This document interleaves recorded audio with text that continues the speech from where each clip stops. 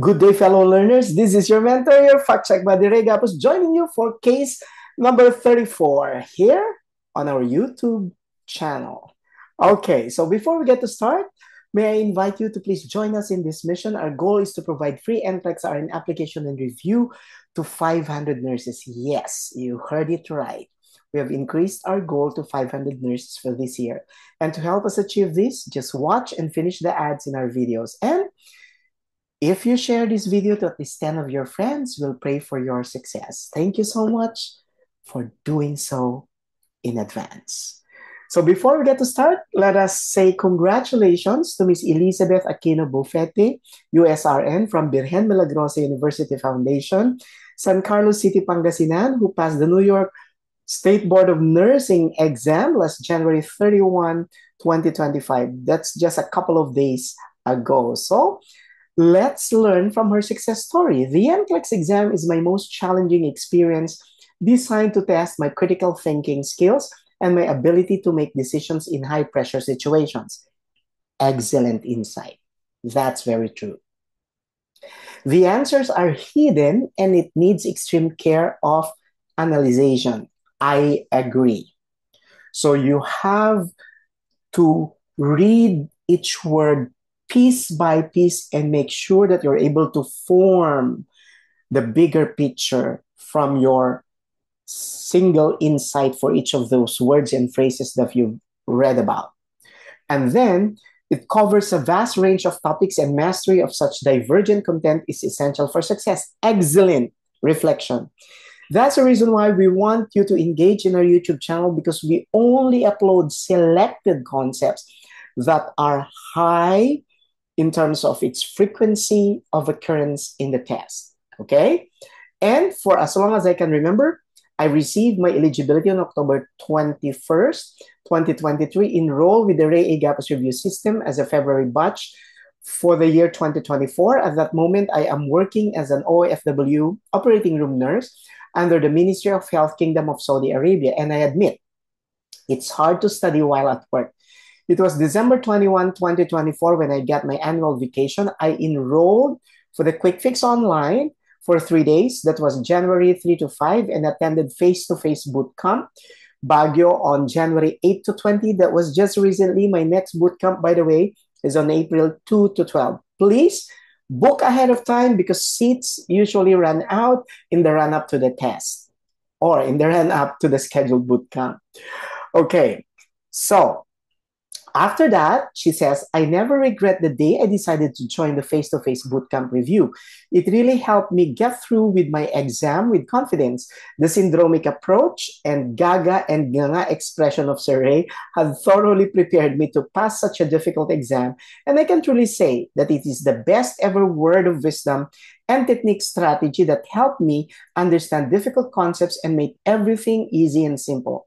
I'm still in skepticism that this NCLEX nightmare has finally ended. I wrote my exam on the 31st of January 2025 and passed at 85 questions in 3 hours and 30 minutes. Excellent pace. She knows how to pace herself properly. Good luck to all the future RNs and more success. Believe you're, you'll be next. Commit your way to the Lord and He shall bring it to pass. Okay, congratulations, Miss Elizabeth Aquino Bufete from Virgen Milagrosa University Foundation, San Carlos City, Pangasinan. Congratulations, you deserve a salute from our team. And let's focus now on the things that we need to remember. But before we do so, let me just inform you about our promo. If you have limited budgets, you can get a free review from us if you process your NCLEX RN application with ITAPS GAPUZ. So ITAPS is our international test applications processing services, and you get a free review if you pass, if you decide, okay, to process through ITAPS. So this is one testimonial from our USRN from the University of Baguio, Michelle Ocampo Tavera. Thank you, ITAPS Gapuz team, for being part of my success, a worry-free and hassle-free processing of my NCLEX exam application. To my processing officers, Ms. Diana and Ms. Ace, thank you for having the patience to handle all my requests from starting with my application up to the scheduling of my exam itself. To all the mentors who, have, who gave fantastic mentorship and constant guidance, especially to Sir Francis and Ma'am Che, To Mom Joanne, has always been very active and gives prompt responses to all my queries. To Sir George, who managed to assist my mother in sending the review materials here in Dubai. To all the IT, Sir Eric, Sir Daniel, who assisted me especially when there were errors in dealing with my TOP account, QBank, and Coreshells. You all played a great part in my journey that marks a significant milestone in my career. It was all worth it. Until then, Thank you so much. More power and may God bless the Ray Gapuz review system. Thank you very much for the trust and continued loyalty and support. Miss Michelle Ocampo Tavera, USRN. She passed all her tests through the Ray Gapuz system from HAAD to NCLEX, everything. Okay. And let me first mention this public advisory. Dr. Ray, that's me. And the mentors of the Ray A. Gapuz review system are not part of another center named Gapuz Review or Gapuz Review Academy. We're not in any way part of that entity. Okay, now let's move on now to our next generation NCLEX RN, case number 34. But before that, let me pose a challenge to everyone. Look at this uh, important topic here. Are you even considering studying hypomagnesemia? If not, then you're in for a big surprise if you're taking the test anytime soon. But take note, one lady at age 66 passed the test. Her name, Flor Pangilinan Villarreal, USRN from Ago Foundation College in Naga City, our record holder for passing NGN at age 66 last December 2, 2024. Now, on to our discussion of hypomagnesemia. Now, it occurs when the serum magnesium concentration is less than 1.8 milligrams per deciliter or less than 0.17 millimoles per liter. Now, there are literatures that say that the normal magnesium level is 1.7 to 2.2 milligrams per deciliter. A 0.1 difference would not harm you. So for as long as you are able to interpret the manifestations of how to spot the condition then the normal value is not a cause for alarm. Remember in the test, the normal values will be um, made explicit on your test. So it doesn't require you to memorize your normal values anymore. Okay? So hypomagnesemia usually occurs with hypokalemia and hypocalcemia. And these three electrolyte imbalances, hypomagnesemia, hypokalemia, and hypocalcemia, could lead to a condition known as Torsade torsado point, which can potentially develop into ventricular fibrillation, the most dangerous type of arrhythmia. So it's very important, therefore, to assess the client's magnesium level. Otherwise, the heart reacts. Okay. So there are certain drugs that may cause hypomagnesemia, and this would include, remember, your CAFP, cisplatin, which is a chemotherapeutic agent, and it's a nephrotoxic agent. Amphotericin B, which is also nephrotoxic, and that's usually given when your clients have fungal infections. Furosemide, which is a loop diuretic, and your proton pump inhibitors like your pantoprazole, omeprazole. Okay, pay particular attention to your prazoles. Now, if your patient has been taking proton pump inhibitors for a long period of time, chances are they've not been able to absorb adequate magnesium, and so they can suffer from hypomagnesemia. Now, high intake of zinc, approximately 142 milligrams of zinc per day, that is too high because the recommended dietary allowance for zinc is just 8 milligrams per day for females and 11 milligrams per day for males. So, which gives us the range of 8 to 11 milligrams per day as your recommended dietary allowance for zinc. So the higher intake of zinc you have, the less magnesium, magnesium absorption occurs, which simply means that you have to regulate your zinc intake if you want to maintain a balance of your magnesium levels. So, what are the foods that could potentially increase your zinc intake? First and foremost, your seafoods. Okay? The single highest zinc containing seafood is your oyster. Okay, so seafoods like tuna, sardines, okay, all of these can add on to your zinc intake, which could potentially decrease the absorption of magnesium. Other foods that contain zinc could be your beef, okay, including your dark chocolates, okay. Now, how would you know that your client is having hypomagnesemia? Now, there usually there are usually neurologic symptoms that includes remember your TLH, tremors, lethargy or decreasing level of consciousness, and hyperreflexia. So these three, tremors, lethargy, and hyperreflexia should raise the red flag on your end that you have to assess the client for hypomagnesemia. Other symptoms, you have your TC now or take care now. You have your Trousseau sign or carpopedal spasm that's usually elicited by using a BP cuff and inflating it 20 millimeters mercury above, okay, the blood pressure, okay, that you have, okay, systolic blood pressure. Now, you can also elicit your sign by using a tourniquet. So if there's an obstruction in the circulation of the distal part of your hands, okay, then the digits will become spastic. So that's Trousseau sign. Chvostek sign, on the other hand, is facial muscle twitching that is elicited when you percuss the area of the facial nerve just right in front of the ears. And that could potentially send the facial muscles on that side twitching. Okay? So you would note, or if you're trying to recall that your Trousseau and Chvostek signs, these are also associated with hypocalcemia. So these are manifestations that are not exclusive to hypomagnesemia. Trousseau and Chvostek sign are also present in hypocalcemia. And of course, you have your gastrointestinal symptoms like nausea and anorexia plus muscle weakness. That could be secondary to the decrease in the potassium levels of the client. Now, how do we supplement our magnesium? Remember to source it from your food. So remember the code BANDS. So we begin with banana and black beans and then avocado, nuts, your dark chocolates. And this is what's funny. Dark chocolate contains zinc that could potentially decrease the absorption of magnesium, but at the same time, it's a good source of magnesium.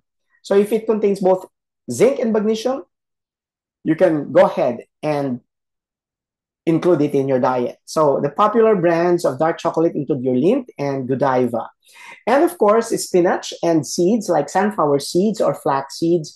These are all very, very good sources of magnesium. Remember the code BANDS, banana and black beans, avocado, nuts, dark chocolates, spinach, and seeds like sunflower and flax seeds. So hypomagnesemia can be treated with either oral, intravenous, or intramuscular administration of magnesium sulfate. That's the treatment of choice. That's the priority treatment.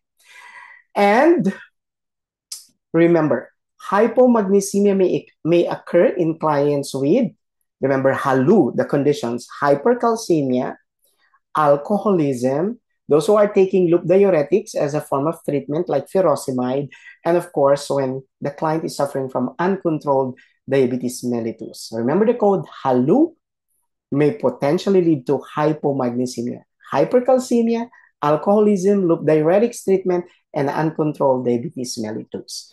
So before we use what we learned to analyze a case, let me just share with you the good feedback of those who are using my book, NCLEX RN 311 the next generation quick fix edition. Hello, Sir Ray. Is coming from Leslie. I passed po. Thank you so much. Hindi po kaya, hindi ko po kaya kung wala po ang tulong nyo. And I said, wow, congratulations. Which part of our review helped you the most? And she says, all, meaning everything. I utilize all your unlimited resources. That's true. Our program is unlimited. Our use of resources is unlimited. You don't need your apps. We provide them to you for free. We have our own. We don't use apps that are westernized. No, that doesn't fit what the Filipino learners need. So she attended three comprehensive reviews one boot camp, two quick fix face to face, finish all activities in the course shell, answer TOP, watch the latest YouTube videos, and you have to do that because I upload every week. Follow the study guide from Sir Ray, and lastly, the powerful 311 book that I read a day before my exam. That's a common denominator of our passers. NCLEX 311, this book is the last book that they read before taking the test. So let's now analyze case number 34. A client who is being rehabilitated for alcohol abuse is sent to the emergency department of a hospital due to suspected ventricular fibrillation as reflected on the electrocardiogram results. Here we go. So there are certain part of the first sentence that should give you a clue. First, the client is suffering from alcohol abuse, which could be a risk factor for electrolyte imbalance, specifically hypomagnesemia. The client is suspected of having ventricular fibrillation, and a precursor of ventricular fibrillation could be torsade de pointes, which is primarily associated with low magnesium levels. Okay, so low magnesium levels, torsade de pointes could lead to ventricular fibrillation. So that should help you come up with an idea. Medical history reveals treatment for peptic ulcer disease. Treatment with peptic ulcer disease usually would involve your proton pump inhibitors. Remember the prazoles, pantoprazole, omeprazole, okay? And then previous treatment with cisplatin, bingo. That's a chemotherapeutic agent that's nephrotoxic. Whenever the client receives nephrotoxic medications plus loop diuretics, then you can be sure they could be at risk for an electrolyte imbalance like hypomagnesemia. So the nurse should further assess for risk factors associated with which condition. Hyperkalemia, no. Usually what's associated with hypomagnesemia would be hypokalemia. Hypercalcemia, no. It's hypocalcemia. Hyponatremia, no. But definitely the answer is contained in option number four, hypomagnesemia. So I just hope you learned from our discussion today. And may I invite you to join our hundreds of thousands of pastors from more than 36 countries all over the world who pass the NGN through the Ray-Gapuz system. Now, how do we study at the Ray-Gapuz system? We make sure that you use technology. And here at the Ray-Gapuz system, our learning tools are published by world-renowned publishers. We have also our own learning management system, and we provide you with very conducive learning environment where you are given the opportunity to use, we're the only one in the world with an NGN simulator. Okay? If you want to have a preliminary view of how it feels to take the actual NCLEX test, come and visit us and use our simulation laboratory for free if you already have your authority to test. So may I invite you to join us for our next NCLEX RN Flex, the most flexible test prep class for the NCLEX RN. Review fee starts at 3,499. Your choice of live face-to-face class, live virtual class, on-demand unlimited video recorded lessons, QBank and three books, NGN strategies and sample questions by me, Doc Ray, and of course, our quick fix session. So you can also choose to have weekday schedules, weekend schedules, AM schedule, PM schedule, evening classes. We have different durations. You can choose like a five hour class or a two hour class or a nine hour class. We all have it here. Okay. So once again, this is your mentor, your fact check buddy Ray Gapuz at your service until our next video. To those of you who are taking the test anytime soon, take care and don't forget to subscribe and share our videos to at least 10 of your friends. And you'll definitely become successful in your test. Take care.